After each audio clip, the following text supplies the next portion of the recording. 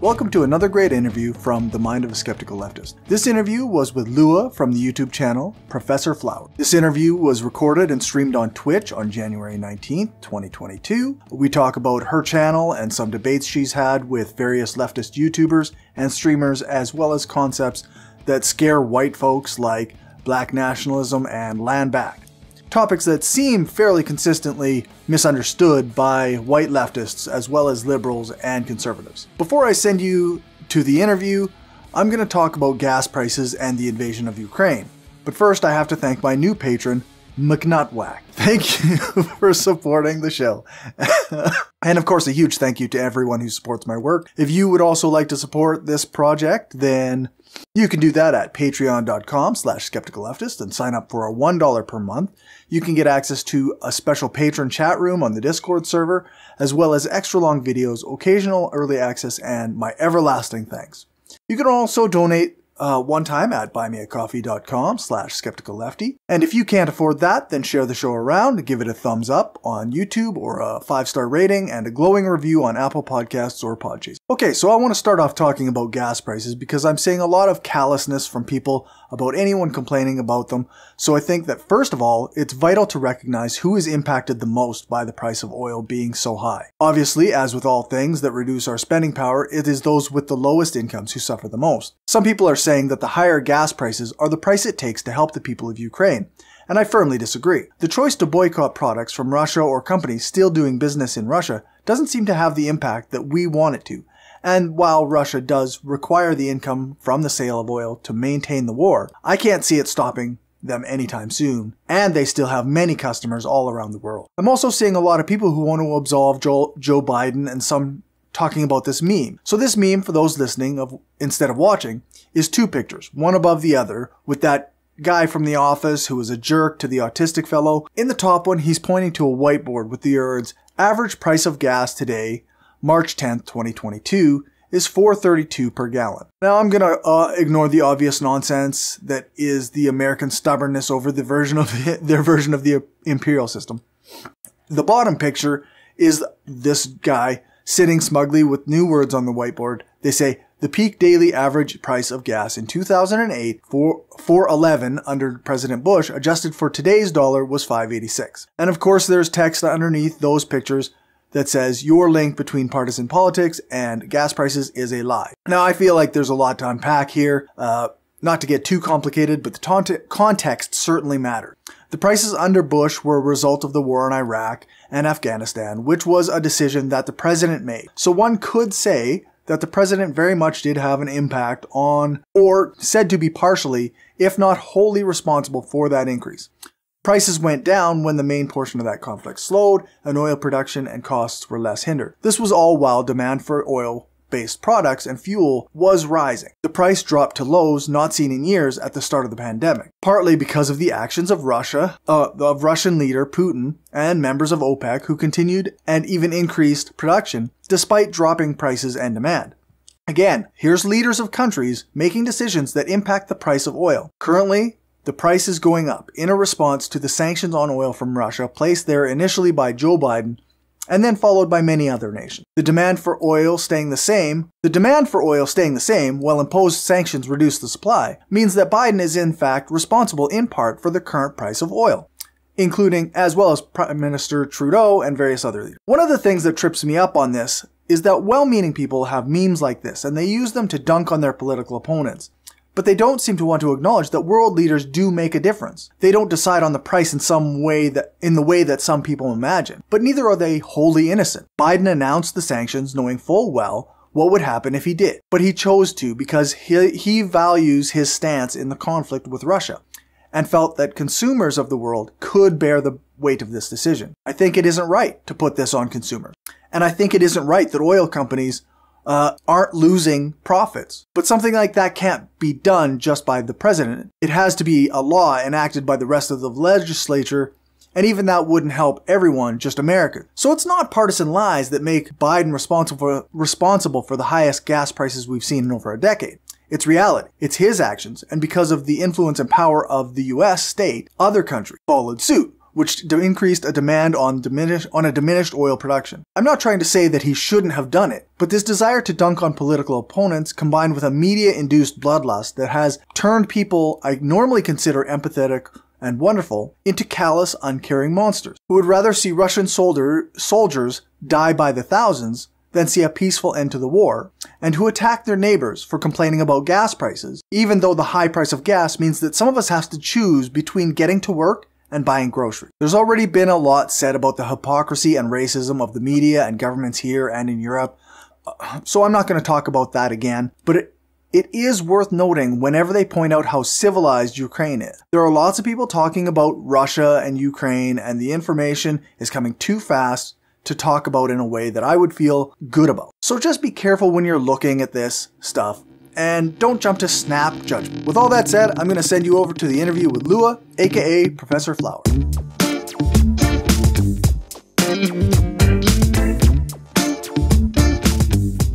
All right.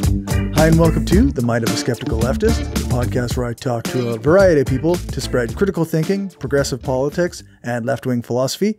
And today I'm talking to Professor Flowers of the YouTube channel of the same name. Thanks for joining me. Yeah, thanks so much for having me on. So, I guess a good place to start is just like a little bit about you and perhaps a little bit about your channel. Sure, yeah. Um, so, my YouTube's called Professor Flowers. Um, you can call me Lua.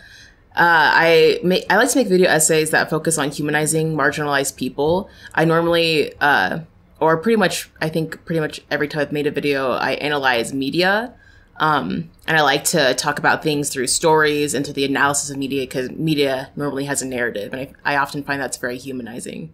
Yeah, that's I, I've I tend to focus on like trying to debunk things. Like I I do a, a segment called Counter Propaganda where we try to debunk something. And I've found that having a narrative is often way more useful than uh, just reciting facts at people. mm-hmm.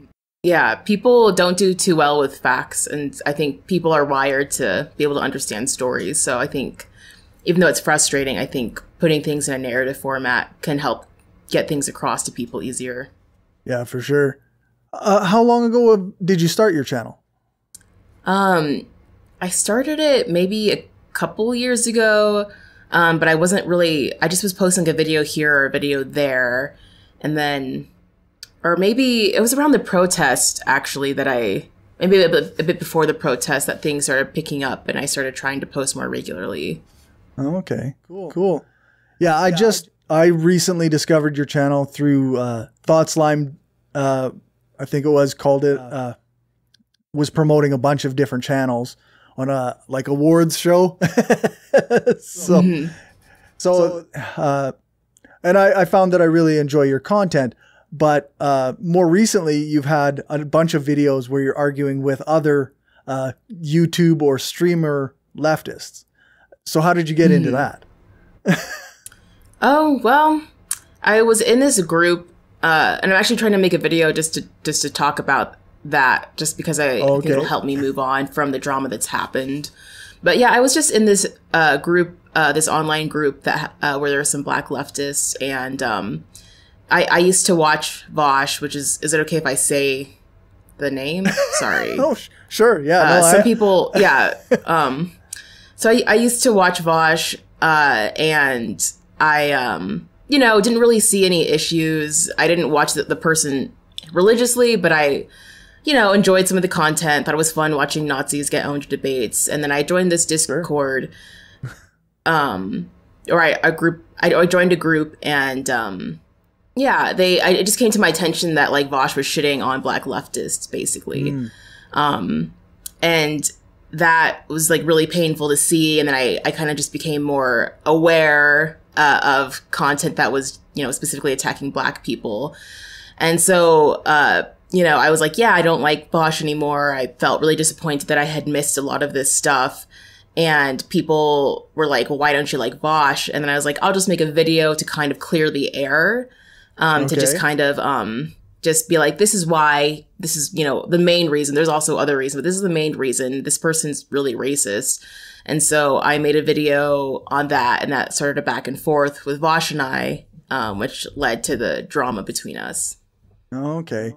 Yeah, I mean, I don't know that much about Vaush. I've never watched any of his content. Um, but it seems like whenever the name is brought up online, there's a huge back and forth, and people are doing like defending him, and and people are uh, calling him out on out on things. And I guess I've seen a couple clips where I was like, well, I just don't think he's an interesting person. so yeah, that's fair. But uh, I don't I don't enjoy seeing people dogpiled by a bunch of fans of someone either, right? So it seems like that automatically puts me on a, a side in these debates. mm. Yeah, I mean, it depends how much you want to get to get into it, but yeah, I mean, I think it's really uh, this person talks about dividing the left a lot, and I think it's actually this person is dividing the left a lot. Like I think, oh. uh, you know, I don't, I don't know how much you want to get into that, but um, yeah, as much I just as think you it's want like to. A, I, I don't want to press the subject. oh, I mean, I'm fine talking about. it. a lot of people are afraid to talk about it because they themselves might get dogpiled if his oh, fans hear yeah. about it. So I think it's pretty stress. It's like just a very stressful thing to talk about. I, Not am a really for me. I'm, like so I'm. I'm yeah, but yeah, I uh, I don't know. It so I guess in a sense, we could almost talk about a broader concept of like uh, left unity. I know there's a lot of people mm-hmm. who are really pro left unity, but often they seem to be like uh, Marxist Leninists or more authoritarian type uh, leftists who think we should all unite under their version of things. Where uh, I know a lot of anarchists are really anti left unity. Uh, so where do you fall on that? Um, I in general, I uh, don't think that we have to agree on everything. St. Andrewism has a really good video on leftist mm-hmm. unity or leftist, leftist disunity, saying that it's not necessarily a problem. Um, I don't think it's. I, I actually don't think it necessarily is. There's things that we're going to disagree on, and also that doesn't mean that we can't work together on a number of issues. And so I think it's would be good for us to work on those issues together. But I think there's a couple of things that people that are th- these massive blind spots. Like one is that uh, on the online left, people aren't focusing colonialism um, at all, pretty much. And right. it's like, especially in Canada and the US, if you're going to talk about anti capitalism and if you're going to talk about anything revolutionary, anything revolutionary at all, you have to talk about colonialism. You have to. You yeah. can't get around it. And we're not going to have anti capitalism or, revol- or revolutions without decolonial- decolonization. Um, and so there's like this massive blind spot where it's kind of like I'm seeing, you know, anarchist fight with Marxist Leninist about disagreeing and what's not even on, on the on the table at all is is colonialism which is just kind right. of mind-boggling to me um, i think that's a huge issue and then also on the topic of uh, leftist unity i think there are certain things that's like we should work together on like anti-capitalism anti-racism um, you know, you know, being against transphobia, homophobia, and those things. And if we're upholding systems that support these things, then we need to you know we need to not do that. We need to call attention to that which again is why i've gone to the bother of trying to call out Vaush and debate bros is because these people and what i think and what others think are actually upholding systems of oppression. Right. um, and that we need to be really critical of that. So i think yeah those are kind of my two points about leftist unity. I, i've recently uh, been kind of in it a bit with uh, uh TERFs, basically. And uh, so, so, but I've had feminists talk to me like uh, in the sen- in the way that like telling me that I shouldn't be having I shouldn't have an opinion on TERFism and and uh, the debate within feminism on trans rights uh, because I'm not a, um, a man, so I'm not a feminist. And I'm curious, uh, what do you think the outside voices like like I don't call myself a feminist. I say I support feminism, right? Because I understand that men sometimes like that's not an uncontroversial subject and it's not really my place to decide. But I wonder what your take is on somebody from outside of a group having opinions about uh, some of these intergroup uh, type of I, debates, I guess. Mm. Yeah, I, I do want to say I think you can be a feminist and still be a man. Um, but I do think like having an opinions on feminism, I think uh, people's opinions need to be informed by the people who are marginalized. So obviously, marginalized people don't all agree on everything. Um, Right. Marginalized, you know, there's going to be people. Uh, there's going to be conflict. Um, but I think like uh, people's opinions who are kind of on the outside group of that should be informed by should still be informed by marginalized people of that group. So like if you want to support feminists, you know, I think our opinions should be informed by like what are feminists saying, what's feminist philosophy saying, and what's the history and context, and why are feminists trying to point this out.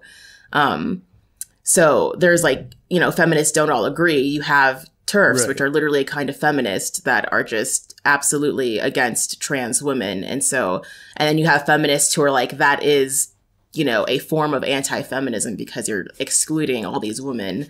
Right. Um, so there's like an example of people not agreeing right there. But for me, like if I was like outside of that argument, I would try to understand um, what are feminists who um, I try to figure out how how I can support this fe- feminists that are also supporting trans women. What are they saying, and how can I support them?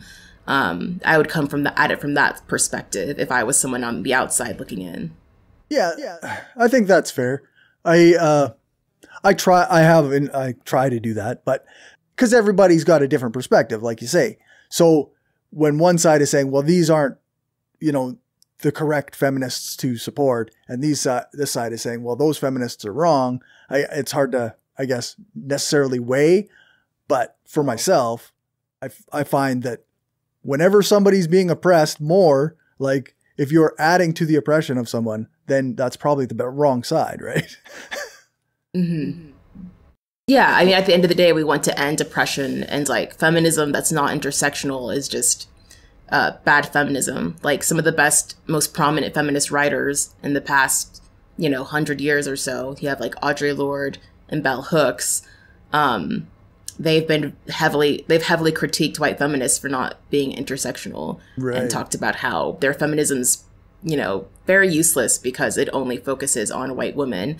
And i think it's a very the, the same thing for trans women as well. Um but uh yeah i just think there's like an inability to care about uh to humanize these other these other people. And the best feminist work that i've read actually humanizes everyone.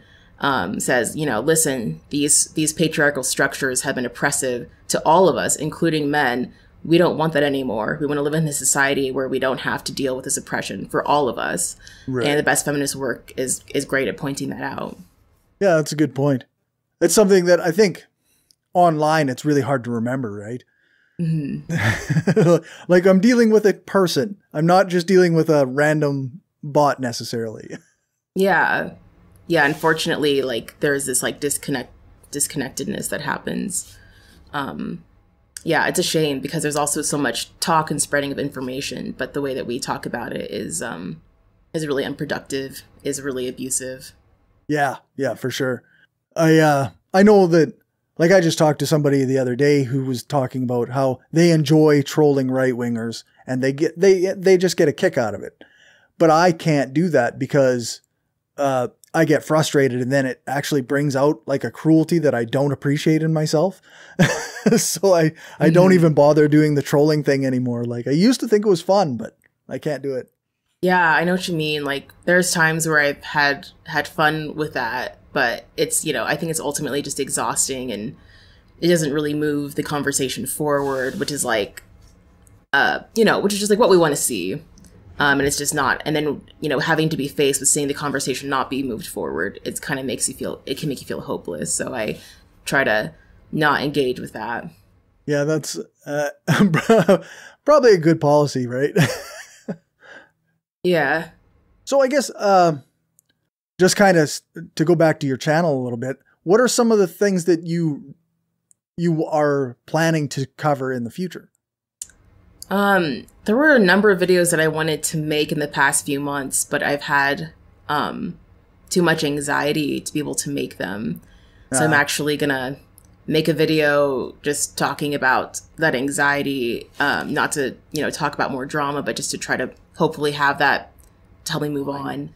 Um, but yeah, I, I wanted to make a video about Squid Game. Um, I thought it was, uh, you know, like a lot, of, like there there is some valid criticism about it. Not really, you know, doesn't actually empower people, but I do like its critique of capitalism, and I like that there was a mainstream critique critique of capitalism. Um, I wanted to talk about Dave Chappelle, which is like you know long since past the Right. drama around that, but I I really wanted to talk about that. Um, and I and I still do. And I also have wanted to make a video on whiteness because it's a concept that a lot of people don't understand. And understanding whiteness is kind of looking at the timeline in in America. You know, I think whiteness looks different in different countries, but I'm focusing Sure. on America and you know really like the past hundred years or so and how that's affected how we understand race and why we are today so there's a lot of things that i've wanted to do but i haven't really been able to work on them because of just some really intense anxiety that i'm trying to deal with No, that's fair. It's uh it's one of these things like uh I, I try to put out one or two of these during my set of days off. Uh, but it it just doesn't always work. And and I'm not a person who has like uh like anxiety or depression or or, or these or things that uh, actually will stop you from producing anything. So everybody definitely don't feel any pressure to put out content. Oh, I would I would definitely like to. It's um it, it's like um yeah, I just I just I really can't. I mean, honestly, I, people are going to think I'm selling, sounding melodramatic, but I just have some trauma I have to deal with in order to Oh, be able fair. to work on things again. Um, but yeah, I would really like to. It's like I have a lot of joy making videos. Yeah, it's a fun process sometimes, eh? Yeah, definitely. Um, well, we're we can switch a little bit to the uh, counter propaganda if you want. Yeah, sure.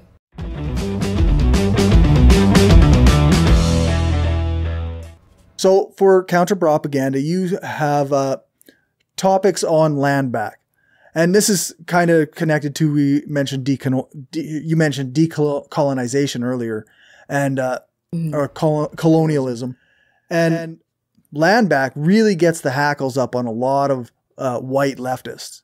They uh, and I mean right wingers, of course, but but white leftists, uh, people that you would almost think should understand, the concept better, they simply don't. Yeah. Um, and I just want to be clear when I debated Vaush, I actually wasn't talking about land back.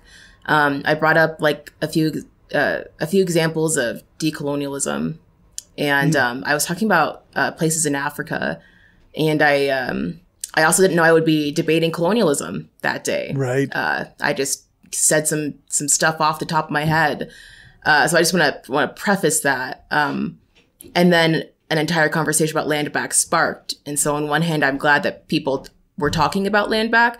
On the other hand, I was very sad that it happened in that way. Um, right.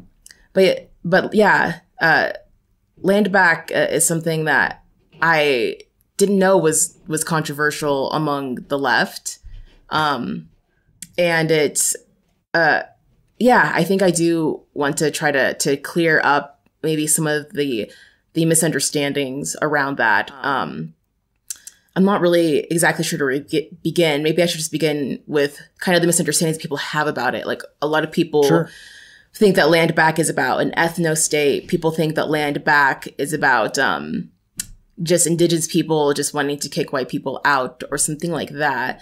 Um, land back isn't about any of those things. Land back is about giving indigenous people their land back.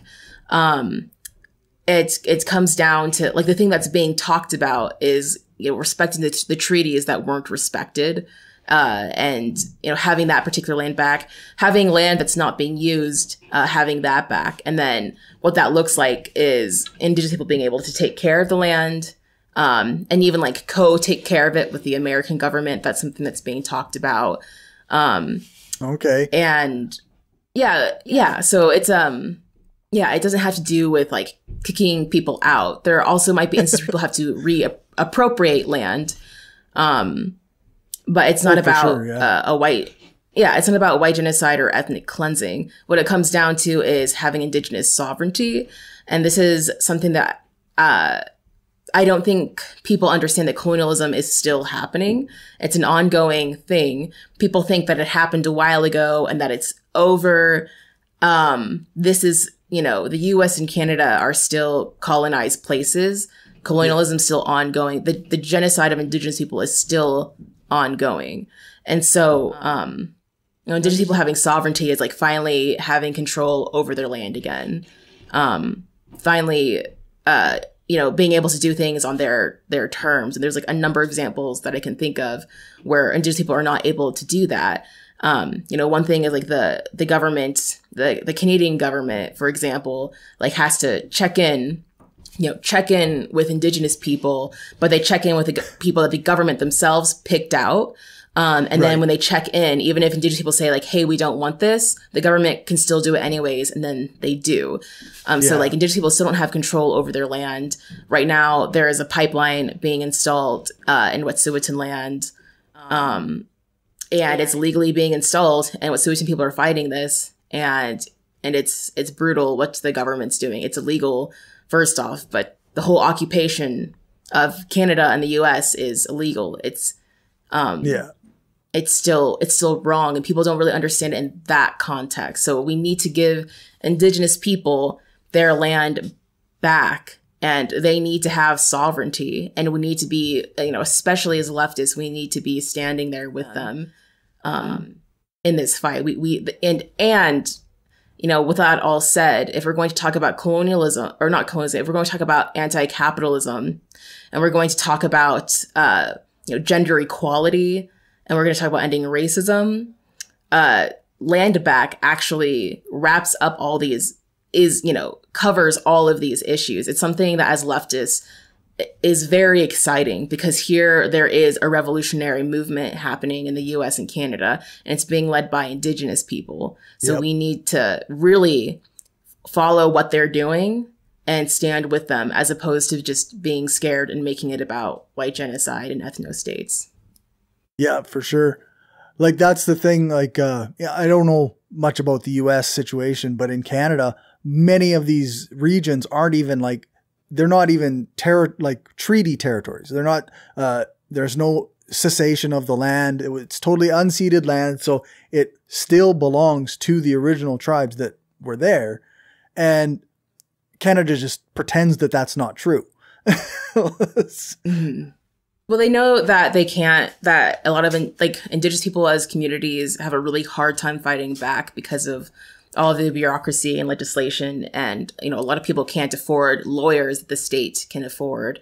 And they know that. And so, um, that's, that's how they just continue doing these practices. So, and, you know, same with the US as well. Um, so it's, it's, it's eerie how similar these, these things function in both places. Uh, they're definitely these country the, the governments are definitely like learning from each other, learning how they can take power away from indigenous people. Oh, for sure, yeah, yeah. It's uh, I just saw something today too that was uh, talking about how for people who live on reserves in Canada, it feels often like be- because of the uh, the lack of resources, often the lack of clean drinking water, and just the the lack of support in any way uh, it often feels like they're being forced into off of reserves and into uh, like urban centers where those things exist, and then uh, and then the government will just reclaim whatever you know land isn't being used. And so, and so, in a sense, like just by not giving them what they need to survive, or or helping them have what they need to survive, they are eliminating their ownership of their lands. Yeah, that's exactly it. And the government's systematically doing that. Uh, this yeah. is kind of what people mean. well, this is exactly what people mean when they talk about the ongoing genocide right. and how it's it's still happening. Um, people are put in really awful conditions, and then they end up having to move, or people have to sell their land because they're in, uh, you know, they're backed into a corner, and the government reclaims that, or not reclaims, uh, takes that land, and um, yeah. That's that's a part of the ongoing genocide, like the lack of resources sent to indigenous people during, you know, this pandemic. Um, all these things, like they're not um, they're not done on accident. It happens because the government sees these people as a problem and does it, you know, is trying to bide their time, hoping that these people will, you know, die off and not have less and less power as time continues. Right. Or they'll assimilate by just moving into urban centers and, you know, take ign- learning, learning, uh, forgetting their languages and forgetting about their ties to the land and, and yeah, yeah, just whatever it takes to make them not a problem to the powers that be. Right. Exactly. Yeah. I, uh, I was I, there. Uh, I live in Saskatchewan, so there's uh, a few months ago we had there was a mining company that went on to Indigenous land to do some surveying because they want to do some mining, and there was some protests. Uh, the the local tribes there in that region they said, "Hey, this isn't cool. We don't want to do this," but and that whole idea where like you have to uh, what is it you have to refer to them or you have to talk to the, the, the tribes first, but legally it's not binding in any way. So, so then, then you can say, oh yeah, they don't want it, but it's economically viable or it's economically beneficial to the region. So we're going to do it regardless. And it, it often, often the indigenous tribes are taking into account more than just the economics. They're taking into account like the, uh, the, uh, environmental impacts, uh, the impacts on the drinking water, like all this stuff that could impact the people around it. And yeah, the government just chooses to, for dollars and cents wise, they they ignore whatever they want. Yeah. Um, and this actually reminded me of something that we're reading in a book called The Red Deal. Um, there was this, I don't remember exactly what it said, but it was talking about how um, we're losing like we've lost like when we like develop this land uh you know you know the example that comes to mind um is like places like mount rushmore where you know these the faces of the presidents were carved in right um and when we do things like that that's lost forever and something that was really interesting about um the red deal is that it talked about how how like we we we the language that people have been using is that uh, you know, indigenous people have lost this, which is true. The indigenous people have lost it, have lost this, but the language that the Red Deal uses is that we've lost this. And um, mm-hmm. it's something that just really shifted things to think of it as us as humans have lost have lost these places forever. Um, these places that took billions of years to just uh, form, and they're yeah. gone forever. Um, but I think there's like this sense of of that where a lot of indigenous people fighting for their home uh they have this understanding of how it's all of our home and we're just destroying it and it's it's not something to be developed for for profit yeah. um it's something that needs to be taken care of uh, there's a heavy focus on that um yeah. and yeah i think i think that's a really when i think about that i think like that's a world that I want to be in. I want to live in a world where I want to take care of it. I don't want to live in a world where I just want to exploit it. Uh, even that itself, there's there's a lot of practical reasons not to exploit the earth because right. look at hap- what's happening with climate change, because what's happening with capitalism and uh, you know just the oppression that that that gives all of us. But then just just wanting to take care of the world, I think is just um, the kind of world that I want to live in, and I think that that's also a focus of theirs that I really appreciate. That's something that I I really like about. Uh, it's kind of uh, separate from the indigenous. Uh, well, maybe it's not the conversation that we just were having, but it's like uh, I just recently, uh, I guess by recently a few months, learned about solar punk. And that seems like that kind of mentality, like that we're taking care of the earth and we're trying to, you know, you know, we, we use it and feed back into it in a very like mm-hmm. balanced way. And I, I, I, I find it really cool. I don't know that much about it yet, but. yeah, I'm really glad that you brought that up because I really love solar punk. Um, I found it during a time where like I, I felt really hopeless and I can honestly like lean towards being a doomer and feeling really depressed and like, oh, things are awful. And then I, you know, found out about solar punk and was just like, wow, like what a really great way to envision the future. I felt right. so excited and so ecstatic. And uh, that is how I feel about land back. I feel hopeful. I feel like there's something happening right now, and um, it's gaining. I've noticed that it's gaining a lot more grounds in Canada, um, and so I live I live in the U.S. But um, I'm really hoping that that both movements will like just flourish, uh, you know, in the Canada and in the U.S. And it For makes sure. me really excited. And I, if there's a way, I, I would really like to help share that excitement with people, where there's, um, because I think when we're talking about uh, anti-capitalism, there's a way where it's like it doesn't really, well, especially it doesn't, you know, people can be very, uh, you know, like leave out the issues of racism.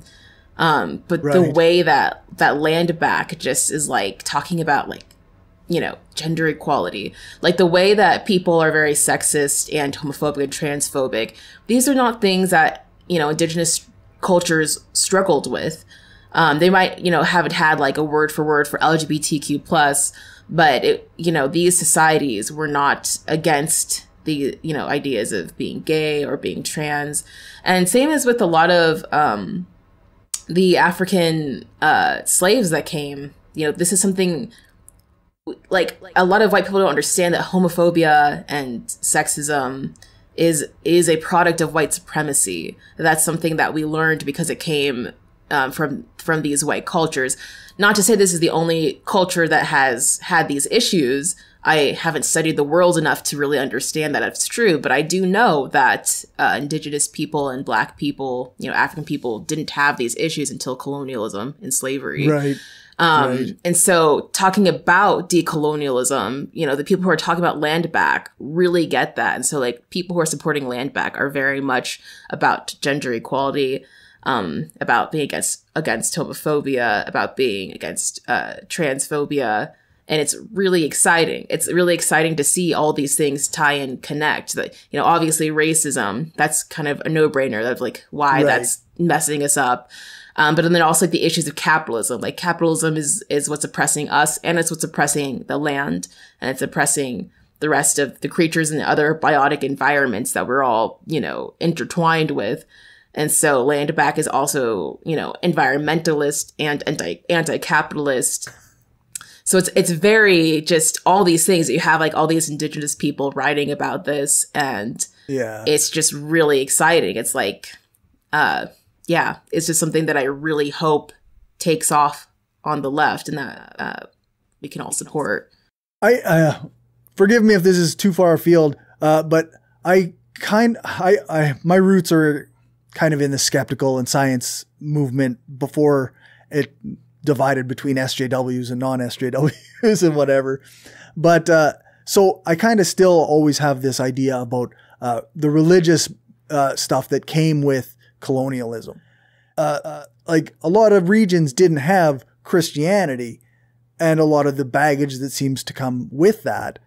And then colonized colonizers brought that over and then tried to force people into their religious boxes. And then uh, I wonder if some of the the homophobia, the misogyny, like some of this stuff. I mean, yes, capitalism, colonialism, but also Catholicism in in many ways. Yeah, that's exactly it. It's it's honestly like it's been a form of colonialism, like trying to get people to follow uh you know the Christian religion is like one of the first way that you help pacify people. Um, Right. And we've just seen that like around around the world. Um I think something that I've become aware of is like uh well, you know, most of the world has been colonized. Um and yeah. people, you know, countries are either living in the aftermath of colonialism and overthrowing their colonialist powers, or are still colonized. Um, and uh, I, I think people aren't really aware of that. I think that's part of why Christian Christianity is so huge. You know, not to say that if you, not to say that they're, you know, I think people can practice Christianity in a way that's perfectly fine. But Sure. uh, you know, recognizing it as a colonial power is is really important. But yeah, I uh, I myself was really um, was really just surprised because I had grown up Christian. I had grown up learning that um, you know that like we need to spread the word of God and all of that. And I remember reading these books about um, reading these books about these missionaries. I forgot what group of people they went to, but I remember these they went to this group of people and they were like, "Hey, like we we want to bring you the word of God uh because, you know, we need to save you." And they were like, "Save us from what? We're doing fine." And I remember reading right. that and just being like just shocked because I was Christian and I was like, people are doing fine without Jesus, without having to have this religion pushed on them. And I just came to find out that, you know, I can't speak for every religion or every group of indigenous people. It's just, it was very unsettling to read about so many groups of indigenous people, you know, whether they're from the Americas, whether they were from Africa, and just learning about how they didn't have issues with sexism. They, you know, that doesn't, that doesn't mean there weren't gender roles, but, right. um, it, there was also more freedom to choose to choose things. And then because it just seemed like they were more communicative with each other. Like do you want to be doing this? It was okay if you didn't want to be doing this. There was still something for you. It was okay if you didn't fit these gender norms. There's you know something created for you to still exist if you don't quite fit this this binary. Like a lot of places people didn't have binary gender in the way that we have it in the West. And that was from colonialism. And it's, um, just been un- unsettling. It's, it's, uh, you know, and I can't, again, I can't speak for every indigenous group of people, but just from when I looked, looked into, it, I would like look group after group and just be reading about them, trying to like, even, you know, this might seem like a little bit off topic, but like even the word rape, um, my, I remember like one of my teachers like said that, you know, indigenous people had raped a bunch of people. And I was like, you want to fact check that? Cause I'm pretty sure that's not true. Um, right. and we like, he actually like looked it up in a, in a database, looked up scholarly work and was like, yeah, you're right. Like in the Americas, at the very least, a lot of, there were a lot of indigenous people that didn't even have the word for rape because it wasn't a thing. Uh, when people did kidnap colonizers, for example, you know, because these colonizers were like, oh no, like they've kidnapped our women, they're going to rape them. And actually, like these people, there'd be people like, I don't want to go back because I'm really happy here. Yeah. Um, and, you know, there wasn't any like sexual violence or anything because these cultures just didn't have it. Um, and I, again, I can't speak for every single indigenous culture, but from what I looked at, that was not a thing. And so like there's all these assumption of like, oh, well, you know, humans they're just racist naturally. Humans are just naturally sexist. Humans are gonna, you know, rape people, da da da da. And it's like, no, this is very much a facet of like these specific imperialist cultures. You know, like right. when you look at cultures who have like tried to dominate the world and dominate other people, you see stuff like that. But there's a lot of groups of people who did not do that. And, yeah. you know, every indigenous group person group that I've looked into, uh, you know, hasn't necessarily had these issues. Doesn't mean that that's all of them, but I think that speaks a lot. Um, I, I, don't really sorry, I don't remember where I was going with that. Um, no, that, that sounds. But I just like, thought that was very telling. Yeah, yeah, for sure. It sounds a lot like. Uh, like I just, uh, uh, I'm still in the midst of reading David Graeber, the new David Graeber book, and there's a, a kind of a chapter where they kind of talk about some of that stuff where like uh, a lot of the problems that imperialist dominating cultures brought with them, like, were bizarre to the indigenous peoples when they were being colonized. They're like, what is all this stuff you're talking about? Like, this doesn't make any sense. So, yeah. But it, it also, like, the idea of, like, uh, the, the victimization oh. of, uh, white women is very much a thing that, uh, has been used by dominating, like, colonialist cultures to vilify those that are, you know, that they're colonizing. Yeah, and it's really frustrating because they'll talk about like they'll there's this worry that like the savage is going to, you know, like come after right. woman and you know this has also been put on black people as well yeah. and literally uh white people ha- like so I don't I don't want to get your video demonetized but like white yeah. white people have been coming after um like like literally like I I was like so I'm I was I'm adopted and I was like trying to find like my biological parents. And uh, when I went on an- ancestry.com I found out that my great great great grandmother uh, was born out of rape out of slave rape. Okay and it's just like white people like white you know colonizers were talking about this fear of these savages coming after their women and they're the ones genociding and raping everyone. Yeah. So it's it's just yeah. like kind of frustrating to me. I'm just like it, anyways. Nope, that um, is a fair frustration. It's yeah. I don't know if there's anything I can add to it, the conversation for that. But but yeah, it's it is frustrating. Even even if a person isn't invested in it, uh, just as a matter of truth, caring about just facts, like it's not true, or it is more true that white people have been a danger to other groups than other groups have been a danger to white people. it's just the way it is. so yeah, and I don't I don't think people understand that. Like I think uh just going back to the debate that I had with Vaush, where like I'm just trying to talk about decolonization, and Vaush is talking about white genocide.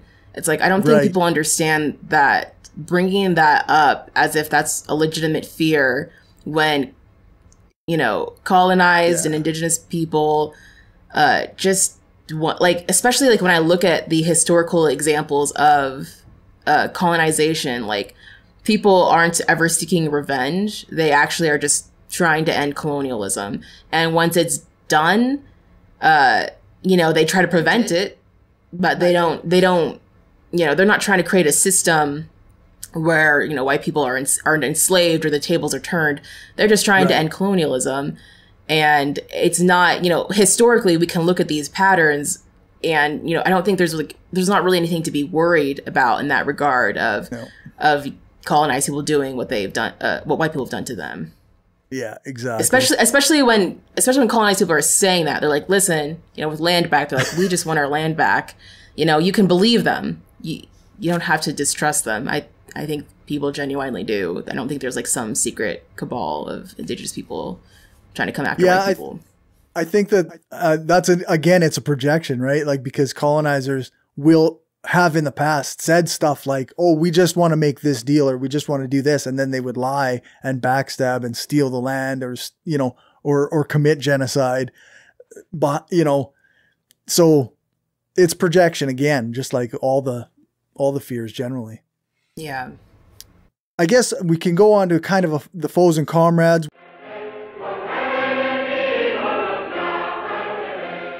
For foes, you have debra- debate bros suck. and we've kind of mentioned Vaush a couple times. Uh, but you also did a video on uh, Xanderhal, or is that right? Mm-hmm. Xanderhal? Yeah. Yeah. Who's another person that I've never watched. So I, I'm at a, I'm kind of clueless as to some of this stuff, but. Yeah, I mean, I think that's kind of good. I don't, I don't think they're, um, I didn't know who Xanderhal was until he responded to one of my videos, and then his response was just really rude, and so I responded to his video. Like, so he made a like he made a. People were talking like, should we focus on debating or focus on converting Nazis to the left? And I just made a video being like, listen, like if you you can do that personally, but I also think like as a group of people, it's not a great use of our time as a group because then we're just like converting people over who like kind of hate us and then they kind of bring in a lot of issues because they were Nazis like two days ago. Right. So it's like, I think it's a very uh, noble task because I know some people really like people who, especially who were ex Nazis, like will be a part of programs to help de radicalize people. And I think that's really great. I'm not yeah. trying to say to stop doing that, but I'm saying like, especially for the online left, it's not the way that it's happening isn't that productive. It's kind of creating a whole entire other issue. Um, right and I think we can, you know, better spend our time trying to focus on like the masses of people. Like there's like a lot of people that we can help, you know, kind of radicalize to the left who are like, you know, there's like lots of people people getting evicted from their homes. There's a pandemic right now. You know, we should really be speaking to the people and being like, hey, uh, the government's failing us. It's failing all of us. And we're trying to make a movement where we're going to, you know, establish a society where like we're not we're not going to just be left to die just because they don't make enough money.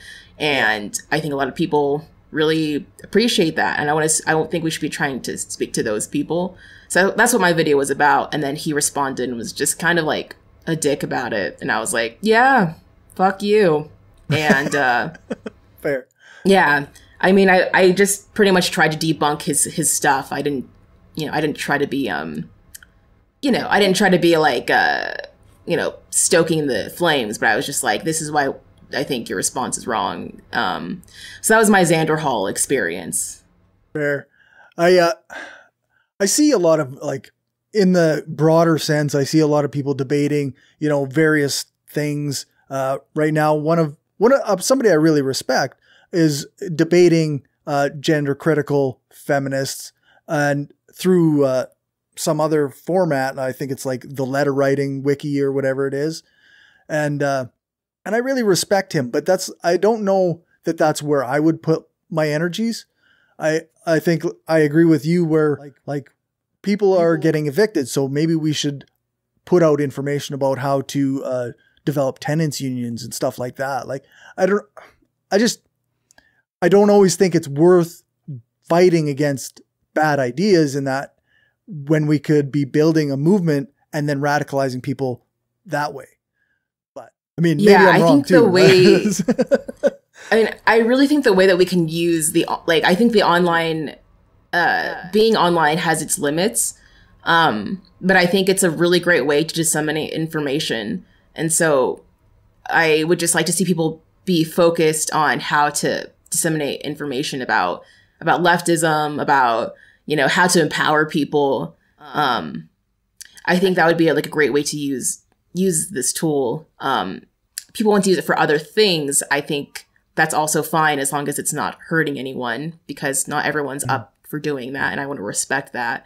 But I think also with debate bros it's like it's way past like well uh you know do what you want to do at this point I think they're causing a lot of um um I think they're pushing the online left farther to the right. Um right. I which think is that itself is a want. huge problem. yeah, it's just something that I think that we do need to address. I'm not sure how much to address it because I've talked about it quite a bit, and I there's other things I want to move on to. Um, For sure. but I do think it needs to be talked about um, because I do think it's it's not just do what you want at this point. I think it is a problem. I'm always interested. I'm curious, like what, like, okay, so I want to leave room for people who used to have terrible ideas to grow and learn and, and join us on the correct side of uh, moving society in a good direction. But also, I'm, I'm always worried, like, uh, that they're not actually changing the way they look at the world, that they're just changing one leader for another, right? If, if you're trading your online Nazi leader for Vaush, who says the right things but doesn't act in those like, but still acts in a reactionary way, like, is that better or are you just doing the same thing you were doing before? Um, yeah, and I want to say like there are things that I don't really think he says the right things. Like I think this is like kind of the issue. That's fair. Like he says things, um, like he'll talk about like really sensitive racist topics to like try to, um, make a point in a debate, and then that information pretty much gets misunderstood by his audience. So like there's like an issue around like him bringing up Jews controlling the banks. Um, I don't think he actually like is a Nazi. It's just like when he brings this up, you know, people get really confused about like, oh, this is a Nazi talking point, but you're saying that, you know, a lot of Jewish people did control these banks and then, you know, people just get confused. You know, he'll say stuff like, well, black on black crime is a thing. And so it's like it's really confusing because it's like uh like what just like what like you know he he kind of brings these things up in a really careless way. Right. and then his audience you know he has almost 400k followers gets they get really confused about some pretty important topics. You know whether he's actually a nazi or not I, I don't really think he actually is. I just think he handles these things in a way that's really harmful. Um but i think but yeah i do think there's it, it comes down to you know people people wanting to feel like they're right. And so they can kind of have this backing of this very confident person um, as opposed to like looking at the world and being like what do we need to support each other and um, Right. get through this pandemic? What do we need to do to to try to bring about some change so we can stop living under all this systemic oppression like th- those aren't that's not really on the focus of people's minds i think people uh, are kind of like vicariously living through this person. And, you know, that's kind of like what we're talking about parasocial relationships where people, um, people feel confident because they're kind of like vicariously living through this other person's confidence. And right. that's an issue when that person is confidently, you know, uh, you know, kind of just taking a dump on marginalized people, for example. For sure. Um, Uh, well, we're coming up pretty close to the hour. I guess uh, for for comrades, is there anybody you want to give a shout out to about uh, how good a job they're doing or whatnot? Yeah, um, there are a number of um, Black content creators that I've uh, found about that I think are really great. Uh, there's Tiana, um, Foreign Man in a Foreign Land. He's really funny. Um, FD Signifier, a lot of people might already know about him. Um, if you want to watch some uh, Black anarchists, there's um, Overthrow Media, um, Ronan Youngblood, um, and also St. Andrewism as well. And yeah, um, those are some those are some people. I'm I know I always kind of kind of as soon as I'm done, I'm gonna like think of some other people and be like, dang it, I wish I had said them. Of course. Um, yeah, but those are some people. No, sounds good. And I guess where can people find you? Yeah, you can find me on YouTube at Professor Flowers or on Twitter. You can find me at Lua Borealis. Great. Well, thank you so much for your time. Yeah, Nice thanks for having me on. You bet. Yeah, you as well. That's all, folks. Thanks for watching or listening. Remember to share this show with your friends or on the social media site that you use the most. Thank you to everyone who supports this show on Patreon. It's really appreciated and it helps me spend more time on this and my other projects. If you want to contribute, you can do that at patreon.com slash skeptical leftist, or you can buy me a coffee at buymeacoffee.com slash skeptical lefty. If you can't contribute financially, then a five star rating or a re- and a review on the podcast app of your choice or on one of the podcast review sites like Podchaser or ratemypodcast.com would be great. If you want to find more from me, make sure to check out the show notes or check out my link tree. That's linktr.ee slash skeptical. You can find all my social media stuff there, as well as links to my other show, From Many People's Strength, which is a podcast about Saskatchewan politics, and a project I'm involved in with my friend Damien Marie AtHope that's called Atheist Humanist Leftist Revolutionaries. My Twitter is at Skeptical Lefty, and my Facebook page is The Mind of a Skeptical Leftist. You can email me at mindofaskepticalleftist at gmail.com. And if you want to be a guest on the show or know someone I should reach out to, then feel free to let me know. You can book interviews in my available time slots on my Calendly, which is also found in my link tree. Thanks so much for listening, and let's try to make sure we're applying critical thinking and reasoned skepticism when we're attacking the system. If we get caught up in bad thinking, we can derail ourselves.